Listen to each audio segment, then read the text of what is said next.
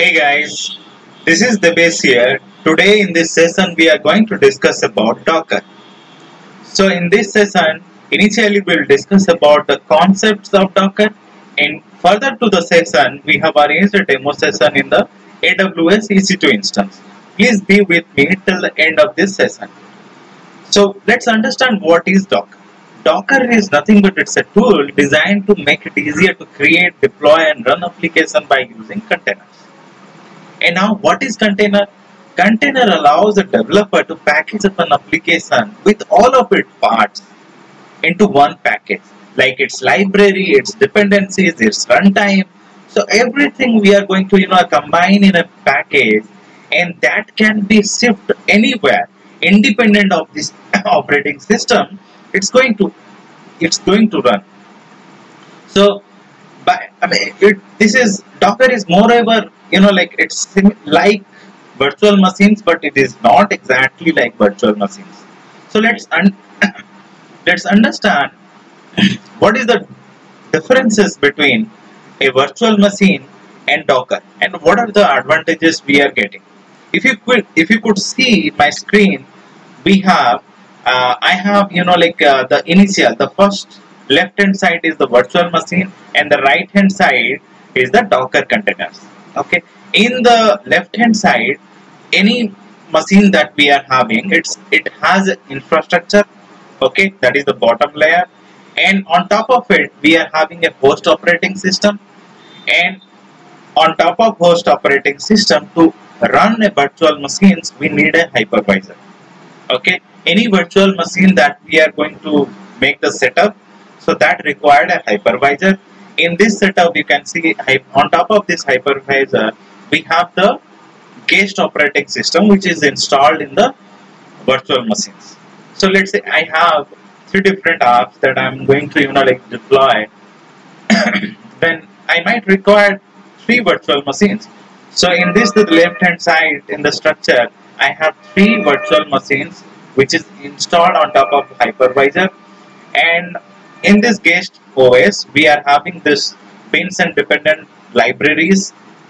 So and on top of that I'm going to install my respective apps. So this is the structure of a virtual machine. So in this way let's say you are having 1 GB each operating system this virtual machine is you know it's consuming. Then for three apps 1 into 3 3 gigabytes of storage I need to you know like maintain in this particular architecture.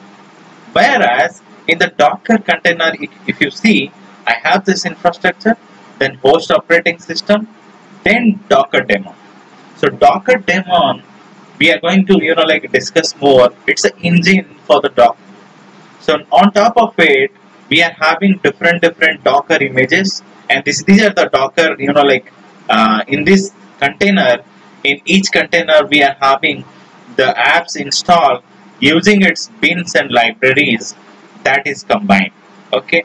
So in if you see look at this case we don't require this guest operating system which is required in the here in the virtual machine we require this gate operating system.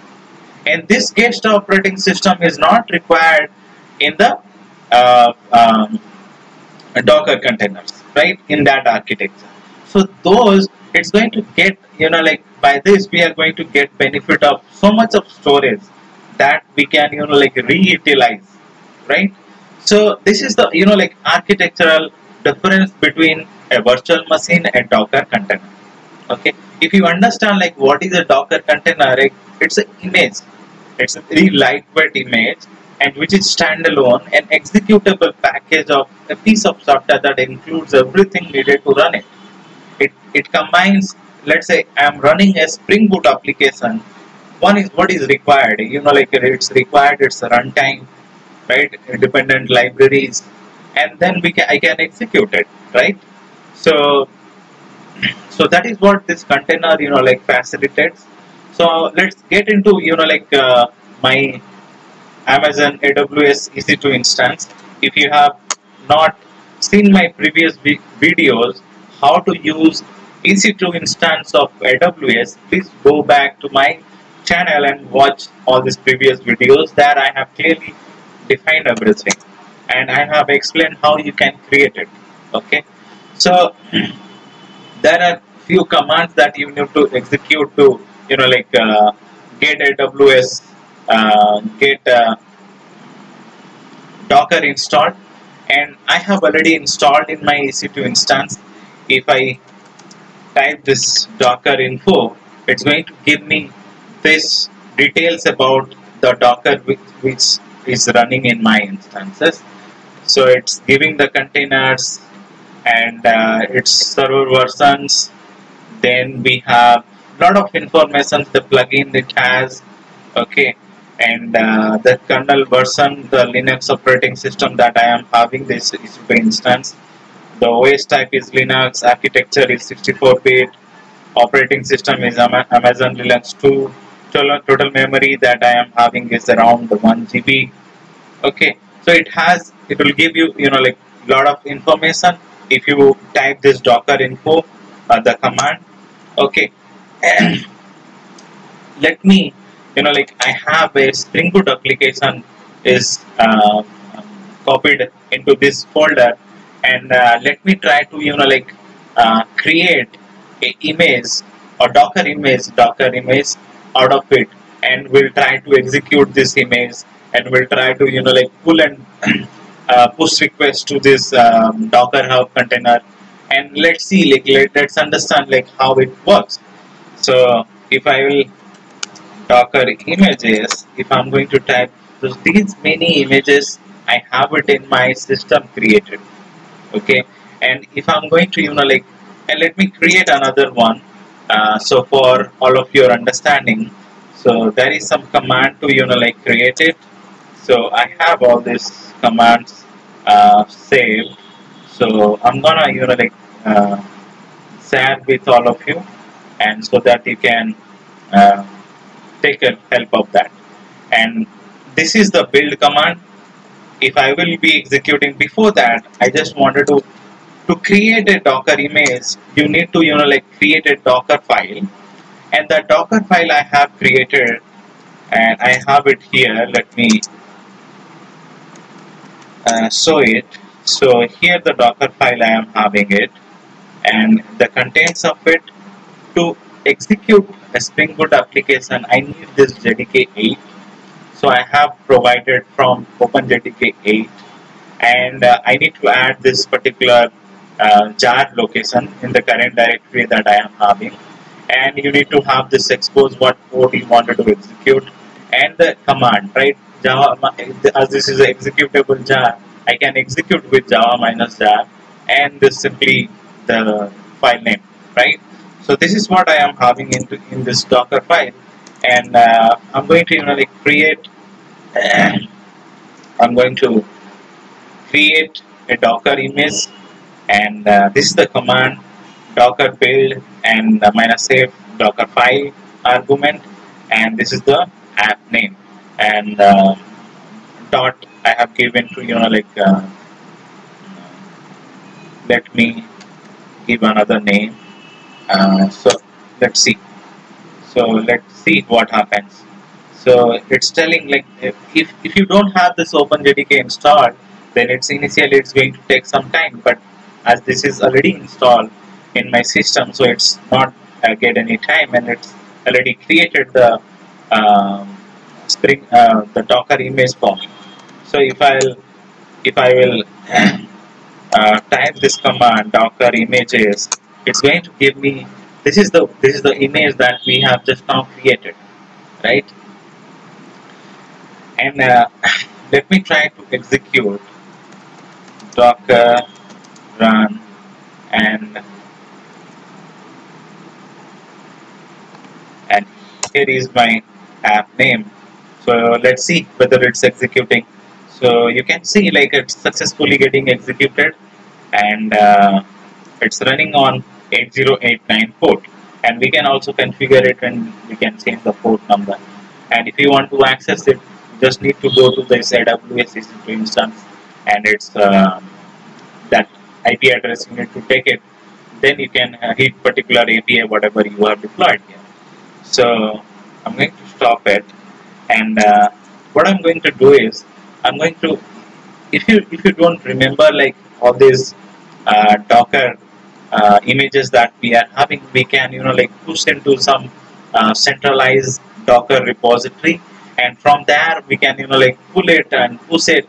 So whatever we want uh, corresponding to our need we can it's a like repository and you can within no minute you can uh, pull the particular package and you can execute in your system and you can also push it. So here I have it. If, if I want any particular application to be you know like pull then here is the its uh, details okay? And the command is docker pull 0199 first image. So it's going to pull it from that because I have already logged in.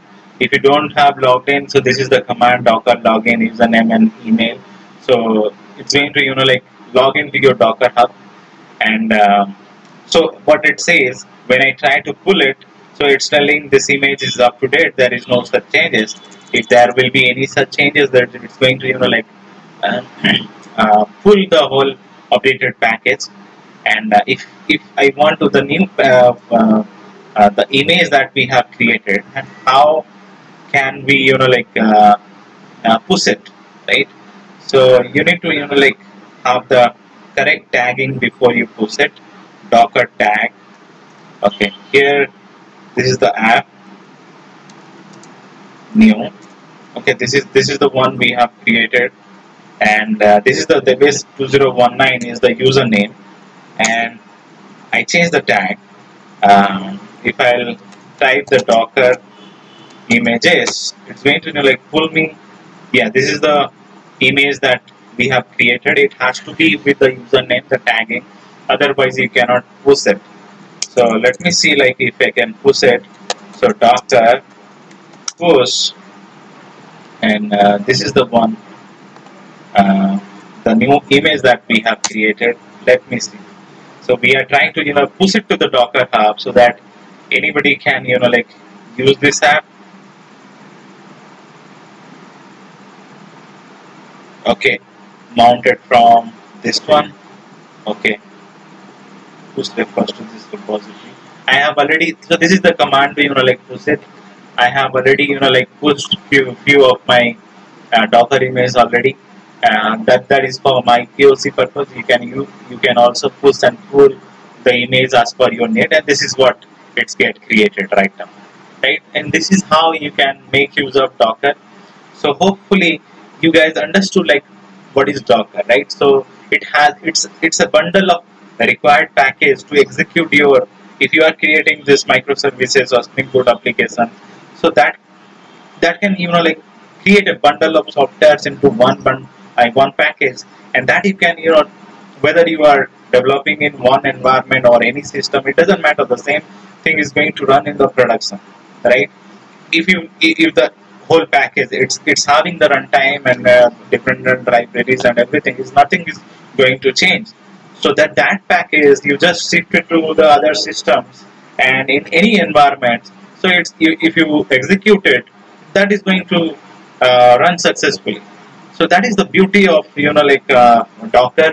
And uh, docker if you go to docker website they have you know like um, committed it's it's it's giving a lot of advantages like faster time to market. So that is the you know like main motto uh, for every business. They wanted to go to the market as faster as possible. So docker is the one who is going to help you to achieve that goal. Then developer productivity is going to increase. So because you, the developers is not spending much time in the environment setup so they are going to you know like create this particular kind of I uh, package and it, they can shift it to any particular environment. So the developer productivity is going to increase vastly. And deployment velocity is going to increase by 60 percent. IT infrastructure reduction that is also you know like get benefit. Around 40% is going to uh, decrease.